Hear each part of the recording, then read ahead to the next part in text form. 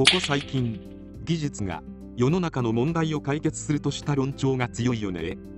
何か問題でも？加速、加速、最高じゃないですか？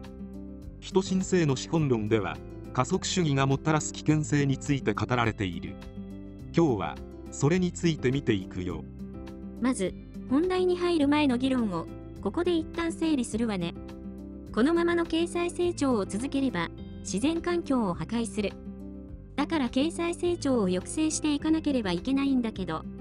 最低限の生活水準に達していない途上国の経済成長は止められない。ではどうすればいいか？ここまでの問題意識は、昨今、流行の加速主義も、著者の掲げる脱成長コミュニズムも同じだわよね。そうだねここから互いの道がくっきり分かれていく各々の問題解決の方法を見ていった後についで加速主義のどこに問題があるのか見ていくことにしよう。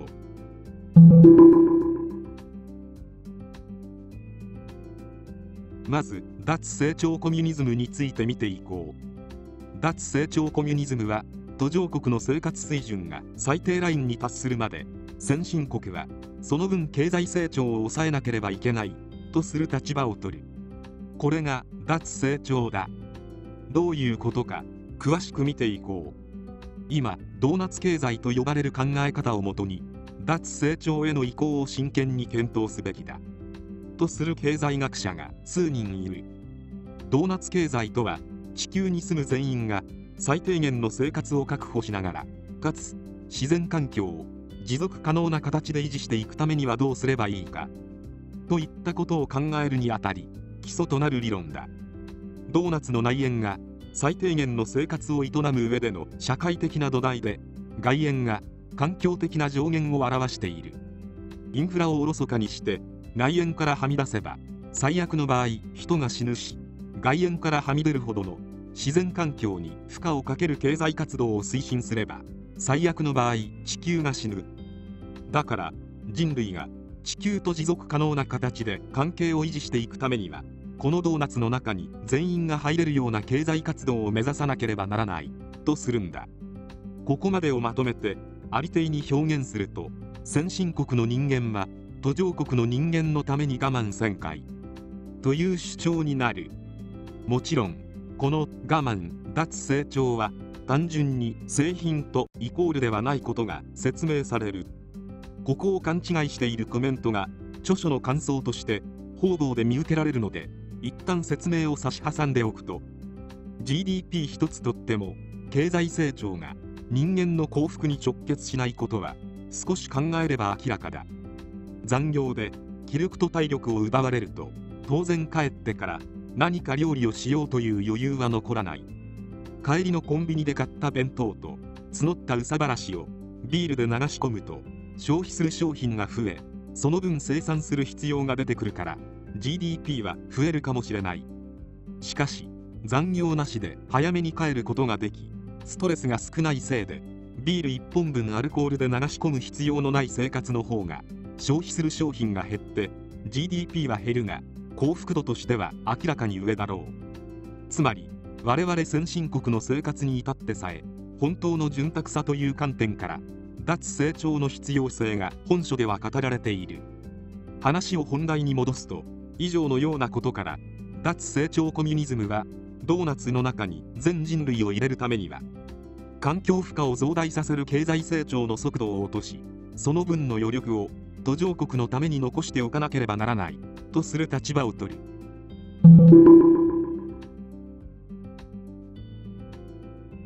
一方これとは違う形で解決策を提示しているのが昨今欧米で流行している加速主義だ。加速主義は環境問題について近年著しい発展を見せている一連の新技術を利用すれば一挙に解決できるとする立場を取る。例えば二酸化炭素の問題については大気中から二酸化炭素を除去する技術を開発。して対処しようとする。ムーアの法則による。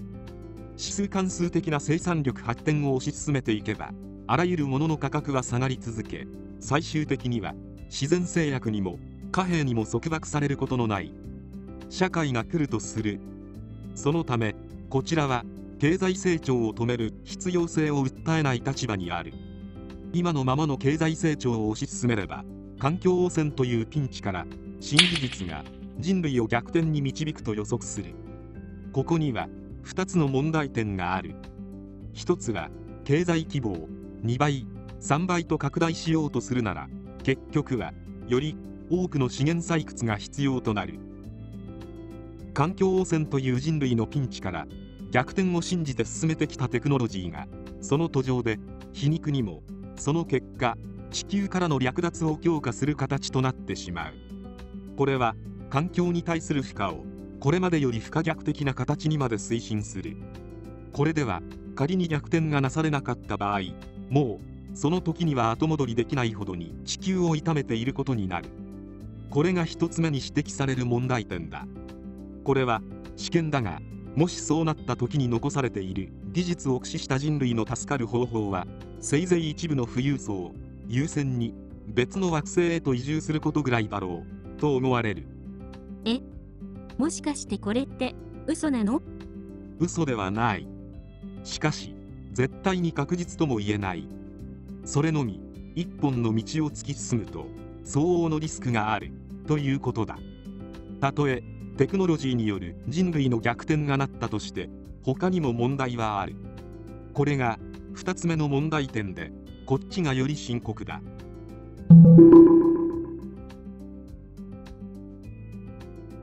答えから先に言うとこのテクノロジーに任せとけば万事 OK だとする考え方は政治主義を招きやすい。と本書は言う。政治主義とは議会民主制の枠内での投票によって良いリーダーを選出しその後は政治家や専門家たちに制度や法律の変更を任せればいいという発想。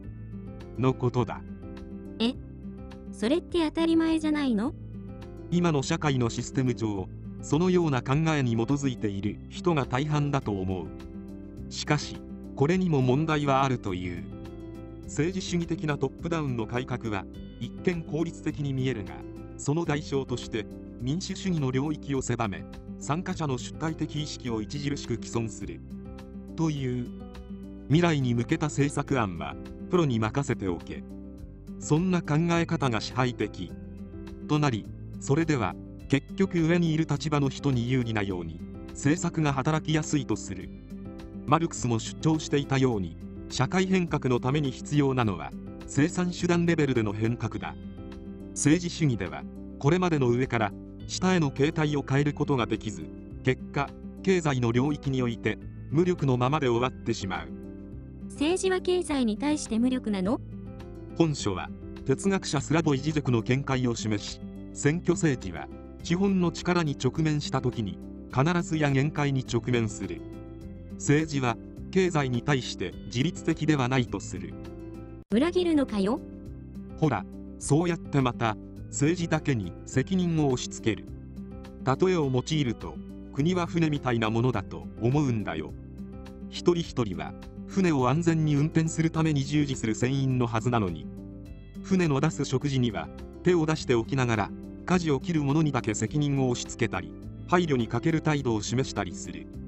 同じ船に乗っているのにナンパしようとしている責任を担当にだけ押し付けるのは違うと思うんだよ。責任を押し付けようがいまいが間違って舵を切って氷山にでもぶつかった場合その時は文句を言うことさえできない。もちろんそうならないための干渉は大事だが危ないと思ったら自分たちで先回りしてできることを探して行動していかなければいけない。そっちの方が現実的だと思うんだよ。もちろん今の社会システムが暇を与えないほどに労働者を拘束し無力にしていることは以前の動画で見てきた通りだ。しかしだからこそ余計に変えていく必要を感じなければいけないのではないだろうか。無力のままではいざとなった時何もできない。今は通常運転ではない状態にあると思った方がいいんじゃないだろうか。動かないことの言い訳にこの無力だけを利用してはいけない。それではただ宣伝された服に身をまとい宣伝された商品を買って宣伝された番組を見て気に入らないことがあれば SNS で憂さを晴らす人生を続けるだけだ。これでは上の者に好き勝手させる好きと言い訳を与えてしまう。本当にあなた社会に参加する気ありましたか？とこの分裂だけは避けなければいけない。